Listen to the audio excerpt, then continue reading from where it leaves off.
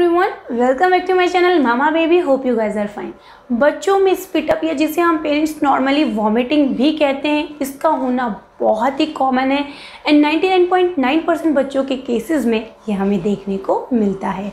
बच्चों में spit up initial कुछ मंथ्स में हमें देखने को मिलता है। एंड सिक्स मंथ तक आते आते या तो ये बच्चों में काफ़ी कम हो जाता है, या पूरी तरह से स्टॉप हो जाता है। पर कुछ बच्चों के केसेस में ये हमें वन ईयर तक भी देखने को मिलता है। स्पीटअप इतना कॉमन है इतना नॉर्मल है स्टिल इससे रिलेट बहुत सारे क्वेश्चंस हम पेरेंट्स के मन में उठते हैं। सो so, उन सभी क्वेश्चंस को डिटेल में आंसर करने के लिए आज की वीडियो डेडिकेट है उन सभी पेरेंट्स के लिए जो अपने बच्चों के स्पीटअप से रिलेट सारी बातें डिटेल में जानना चाहते हैं। वीडियो में मैं आपको डिटेल में उन सभी क्वेश्चंस के आंसर करूँगी जो कि बहुत ज़्यादा ज़रूरी है आपके लिए जानना, क्योंकि स्पीटअप एक तरफ़ जहाँ बहुत ही नॉर्मल एंड कॉमन है, वहीं दूसरी तरफ़ अगर कुछ ज़रूरी बातों का ध्यान ना रखा जाए तो ये बच्चों में सीवियर कॉज भी कर जाता है। एंड कई बार हमें डॉक्टर की कंसल्टेशन लेना भी बहुत ज़्यादा इंपॉर्टेंट होता है। वीडियो काफ़ी ज़्यादा इन्फॉर्मेटिव एंड काफ़ी ज़्यादा हेल्पफुल है उन सभी पेरेंट्स के लिए, जिनके बच्चे अंडर वन ईयर हैं। तो प्लीज़ अगर आपके बच्चे अंडर वन ईयर हैं तो ये वीडियो शुरू से एंड तक ध्यान से ज़रूर देखिएगा। वीडियो शुरू करने से पहले अगर आप लोगों को हमारी वीडियोस अच्छी इन्फॉर्मेटिव एंड जेन्युइन लगती हैं तो हमारी वीडियोस को ढेर सारा प्यार देने के लिए हमारी वीडियोस को लाइक करना बिल्कुल ना भूलें। चैनल को सब्सक्राइब ज़रूर करें। नीचे दिख रहे रेड कलर के सब्सक्राइब बटन पे हिट करके और बेल आइकन को प्रेस करना तो बिल्कुल ना भूलें, ताकि हमारी अपकमिंग वीडियोस के नोटिफिकेशन टाइम टू टाइम आप लोगों तक पहुँचते रहें। तो वीडियो शुरू करते हैं। बच्चों में स्पिटअप होना बहुत ही नॉर्मल बहुत ही कॉमन है। जनरली ये सभी बच्चों को होता है।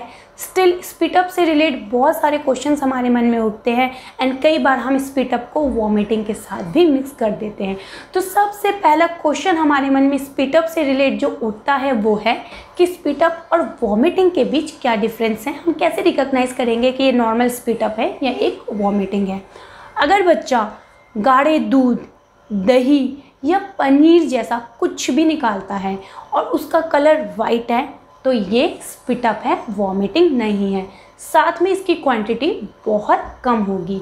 अगर बच्चा किसी और कलर में, यानी कि येलोइश या ग्रीनिश या किसी ब्राउनिश कलर में कुछ निकाल रहा है और उसकी क्वांटिटी बहुत ज़्यादा है साथ में बच्चा बड़ा अनकंफर्टेबल फील कर रहा है और बच्चा इसके साथ में अदर सिम्टम्स भी शो कर रहा है, जैसे बच्चे को फीवर है, बच्चे का स्टमक ठीक नहीं है, बच्चा लूज मोशन कर रहा है, या फिर बच्चे को कॉन्स्टिपेशन है तो फिर ये वॉमिटिंग है, ये नॉर्मल स्पीटअप नहीं है।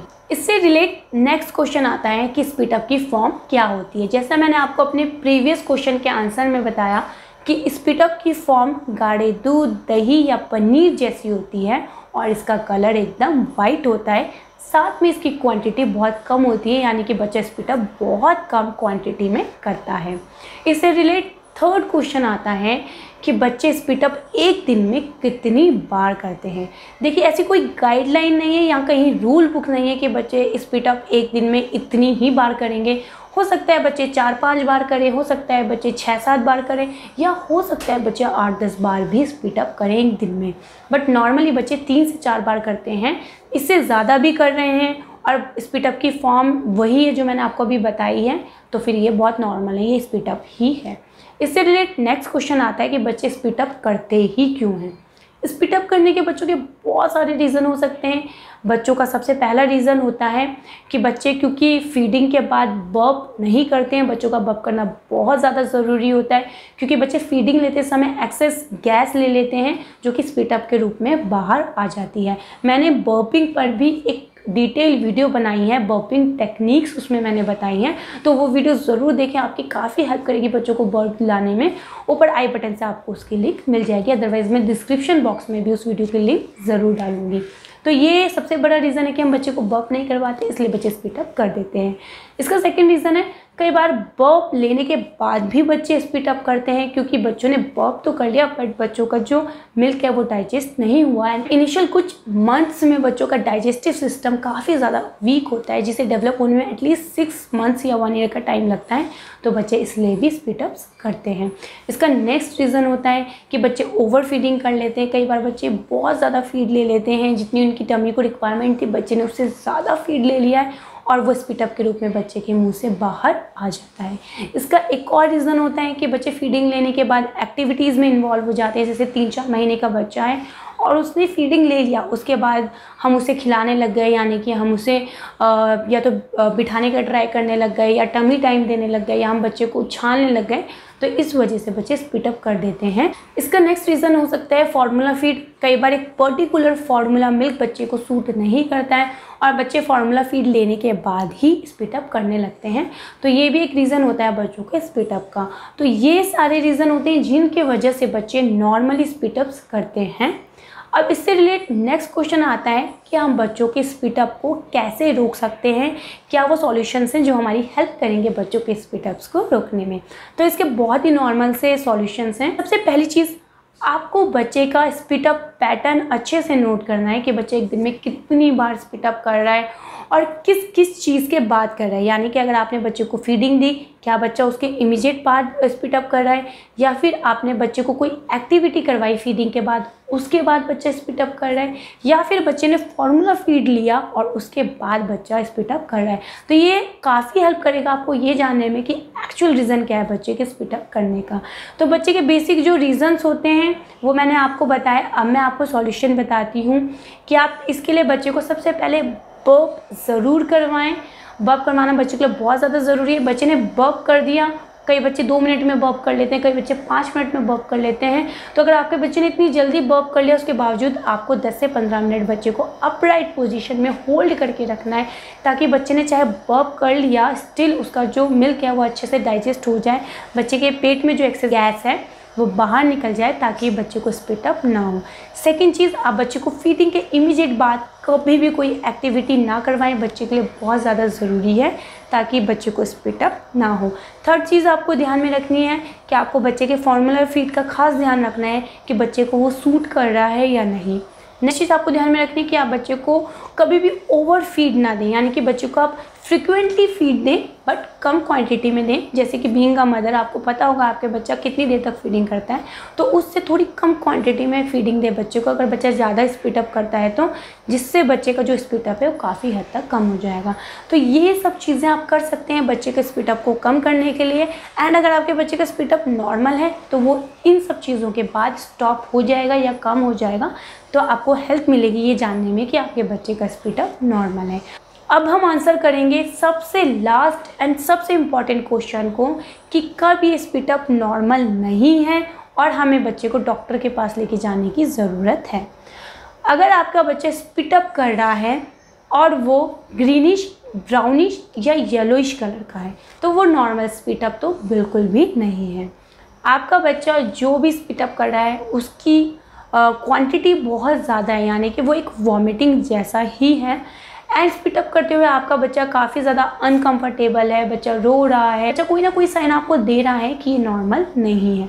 इसके अलावा बच्चा फीडिंग को रिफ्यूज़ कर रहा है, भले ही बच्चा फार्मूला फ़ीड पे है या ब्रेस्ट फ़ीड पे बच्चा वो नहीं ले रहा है, उसे लेने से मना कर रहा है तो ये स्पिटअप बिल्कुल भी नॉर्मल नहीं हो सकता। बच्चे का वेट फिफ्थ सिक्स मंथ तक आते आते उसके बर्थ वेट का डबल हो जाता है। एंड जब बच्चा वन ईयर में एंटर करता है तो उसका वेट उसके बर्थ के वेट का थ्री टाइम होता है। अगर आपके बच्चे का अच्छे से वेट गेन नहीं हो रहा है, या इस सीक्वेंस में वेट गेन नहीं हो रहा है, जो कि आपको जनरली आपके डॉक्टर भी बता देंगे तो आपके बच्चे का स्पीटअप बिल्कुल भी नॉर्मल नहीं है और आपको अपने बच्चे को डॉक्टर के पास लेके जाने की ज़रूरत है। तो ये सब वो साइंस हैं जिन्हें देखने के बाद आपको ये रिकोगनाइज़ करना है कि आपके बच्चे का स्पीटअप बिल्कुल भी नॉर्मल नहीं है। एंड अब आपको डॉक्टर की कंसल्टेशन की बहुत ज़्यादा ज़रूरत है तो उस टाइम पे आपको बच्चे को नॉर्मली ना लेकर आपको इमीजिएटली डॉक्टर के पास जाना है, ये चेक करवाने के लिए कि स्पीटअप का रीज़न क्या है, क्योंकि वो एक नॉर्मल स्पीटअप नहीं है। वीडियो एंड करने से पहले आपको अगेन ये इन्फॉर्मेशन देना चाहूँगी कि बच्चों में स्पीटअप बहुत नॉर्मल एंड बहुत कॉमन है। 99.9 परसेंट बच्चों में ये होता ही है। बच्चों में ये सिक्स मंथ तक आते आते स्टॉप या कम इसलिए हो जाता है क्योंकि बच्चे बैठने लगते हैं, बच्चों का डाइजेस्टिव सिस्टम थोड़ा सा स्ट्रांग हो जाता है, बच्चों में स्पीटअप की प्रॉब्लम नहीं होती है।